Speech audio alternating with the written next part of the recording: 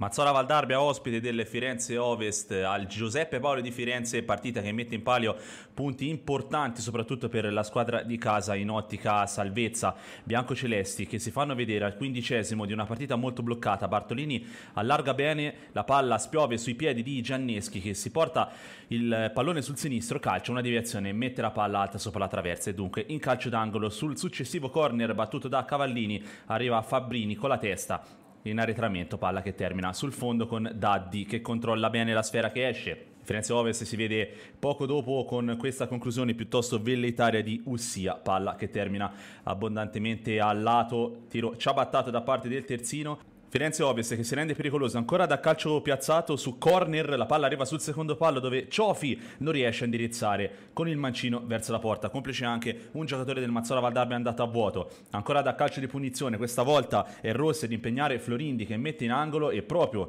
sul successivo calcio d'angolo arriva il vantaggio del Firenze Ovest, un batte ribatte in area di rigore con una serie di rimpalli che favoriscono alla fine Bartolozzi che con la punta del piede destro mette in porta, batte Florindi per il vantaggio dei locali al minuto 41. Inizio il secondo tempo il Firenze Ovest troverebbe anche il gol del 2-0 ma quando la palla entra in porta la bandierina dell'assistente era già alzata da diverso tempo dunque non si può parlare di gol annullato. Il Mazzola Valdarbia al sessantesimo perviene al pareggio, calcio di punizione di Cruciani Bianchi sul secondo palo in porta, Daddi non è perfetto nella respinta e Bartolini il graffio del Condor il primo gol in maglia bianco-celeste di Davide Bartolini che Dunque rimette tutte le cose a posto, è 1-1 all'ora esatta di gioco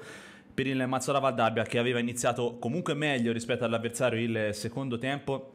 Entra anche Pierangeli che si vede con questo destro da fuori area smorzato, Daddi blocca senza problemi. Ancora Mazzola Valdarbia, guardate che cosa combina Daddi qua, Cruciani salta tutti, destro a giro indirizzato all'incrocio dei pali, Daddi con la mano di richiamo mette in calcio d'angolo.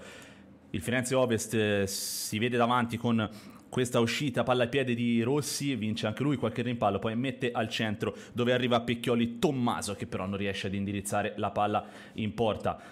al minuto 92 ingenuità di Zefi era stato veramente uno dei giocatori migliori del Firenze Ovest fino a quel momento. Si becca il rosso per una manata a gioco fermo ai danni di Silvestri il Mazzola Valdarbia si riversa in avanti. C'è anche questo episodio dubbio al terzo minuto di recupero con Bartolini che viene spinto per il direttore di gara. Non ci sono però gli estremi per assegnare la massima punizione. È l'ultima emozione di un finale concitato in cui viene espulso anche l'allenatore del Firenze Ovest Angelini per una serie di proteste. Il Mazzola Valdarbia che continua nella striscia di risultati positivi, adesso a quota 6.